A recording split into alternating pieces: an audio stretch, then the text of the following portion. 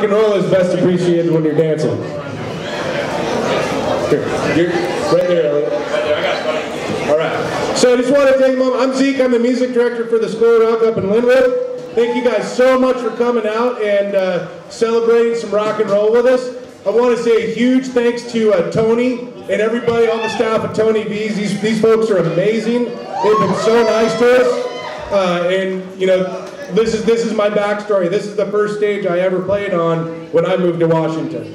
So that was about 12 years ago when this used to be Jimmy's. But, uh, but that was this. So this place, it's really cool to be coming back here and watching these guys play on this stage because this place has a lot of memories to me too.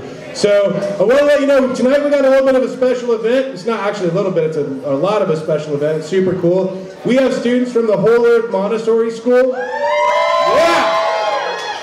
And they have been working with us. They started working with us in September, and they come and hang out with us once a week at our school. And we put together a couple tunes for you guys today that they want to play for you.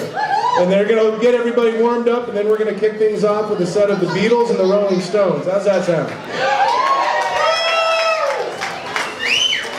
Awesome. So I also want to let you guys know we have some other really cool things coming up. Uh, next weekend, uh, uh, one week from today at the Anchor, we're going to be, our adult program is going to be playing CCR, uh, along with the Seattle schools will be joining us with a set of Southern Rock.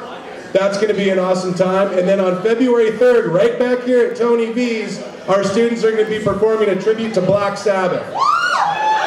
Yeah. So, you know, if you like your, uh, if you like your heavy metal, this is going to be the place to be on February 3rd for sure. And then just to kind of let you guys know, the greater community, um, the school, all the school rocks in Western Washington, and there's five of them, we're all going to be getting together on February 11th at the Showbox SoDo, and we're doing a benefit concert for, uh, well, a member of our School of Rock family who unfortunately had a, a medical incident that has resulted in um, a, a, need for long-term medical care that's going to be very expensive. So all the schools are getting together and we're putting on a big benefit concert at the Showbox SoDo on February 11th, and we'd love every, all you guys to come out and check it out. It's going to be a really good time.